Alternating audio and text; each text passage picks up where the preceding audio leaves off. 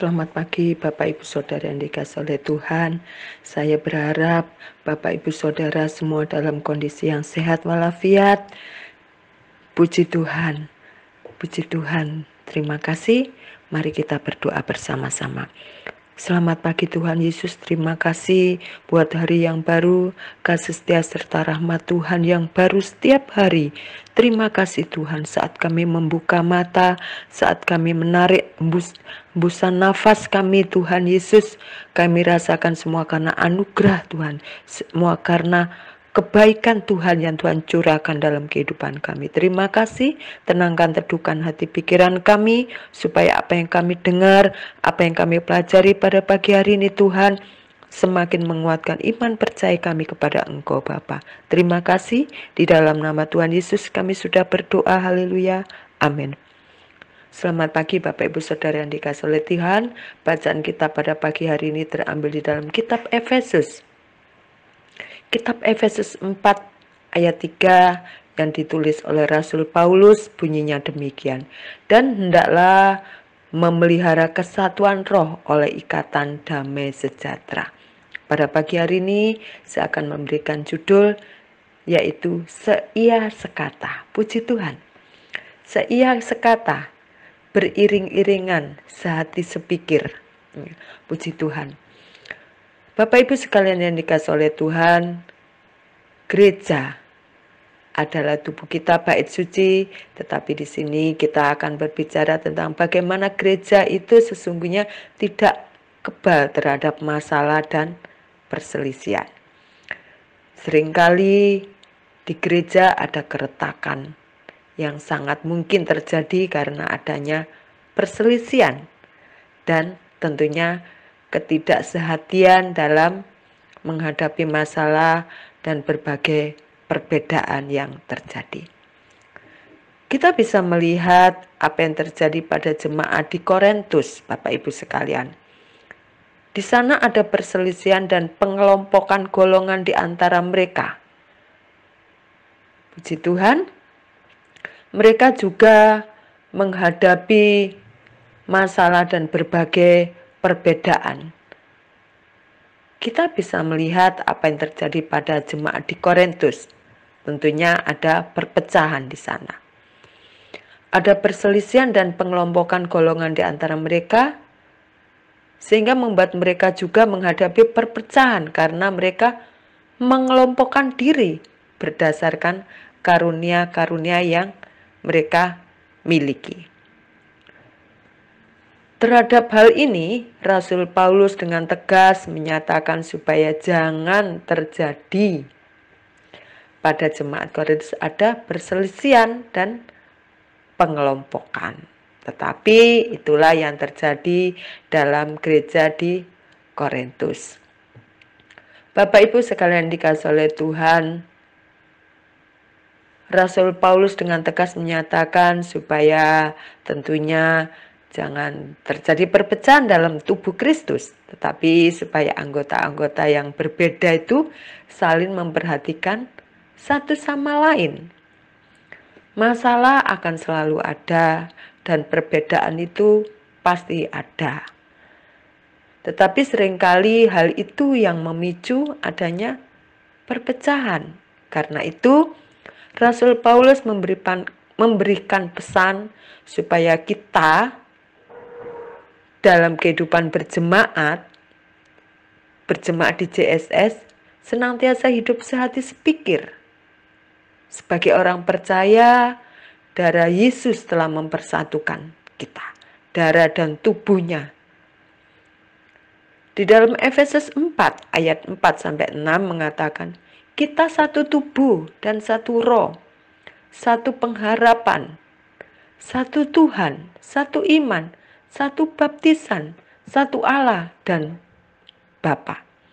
Dan kita diperintahkan untuk berusaha memelihara kesatuan roh oleh ikatan damai sejahtera. Bapak Ibu sekalian dikasih oleh Tuhan, kesatuan adalah hal yang dikendaki oleh Yesus.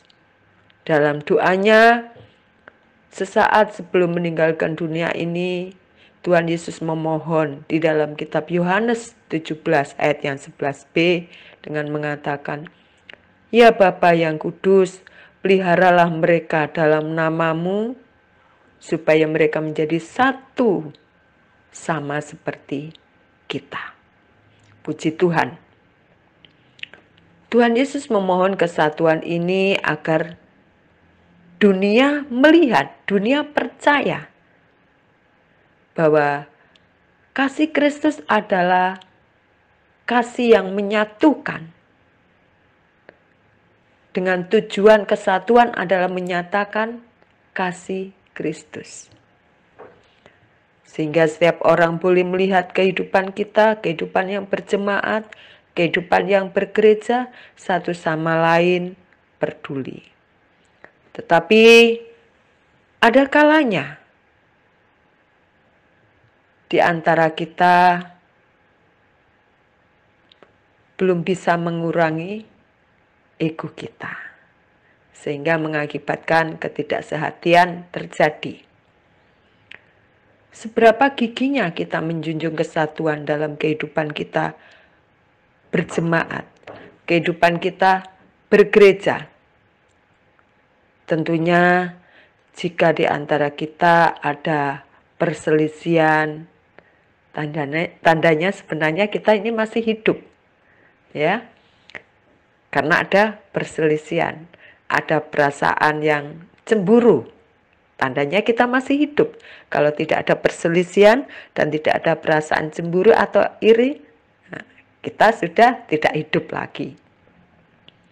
Tetapi dalam lingkup berjemaat Bapak Ibu sekalian mari tentunya saya juga belajar untuk mencintai suasana damai, mengutamakan kepentingan orang lain. Diperlukan suatu kerendahan, kerendahan hati. Dibutuhkan kelemah lembutan dan sabar. Bagaimana kita bisa memiliki itu? Tentunya kita meminta Tuhan selalu mencurahkan kasihnya mencurahkan kemampuannya melalui Roh Kudus, membantu kita untuk mempunyai pribadi yang rendah hati, lemah lembut, dan sabar, sehingga ego kita tidak menguasai kehidupan kita. Bapak Ibu sekalian yang dikasih oleh Tuhan, tentunya saya berharap kita tidak pernah terjadi perselisihan di dalam gereja kita, di dalam lingkup kita berjemaat.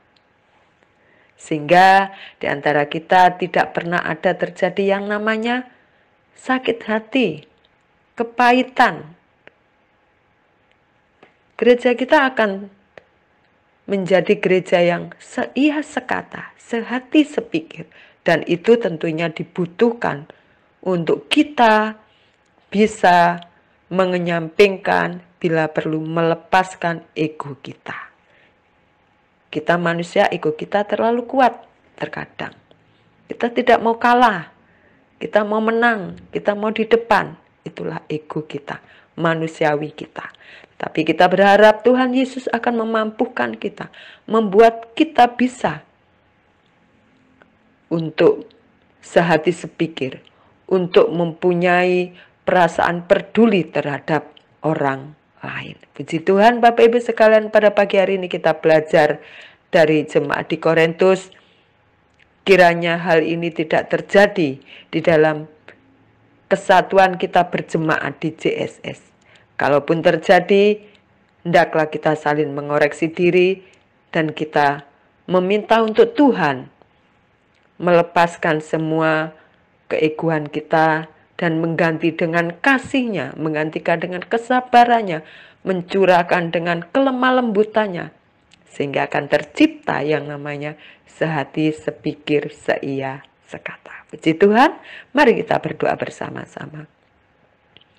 Tuhan Yesus, sebagaimana Engkau memohon agar kami menjadi satu Tuhan,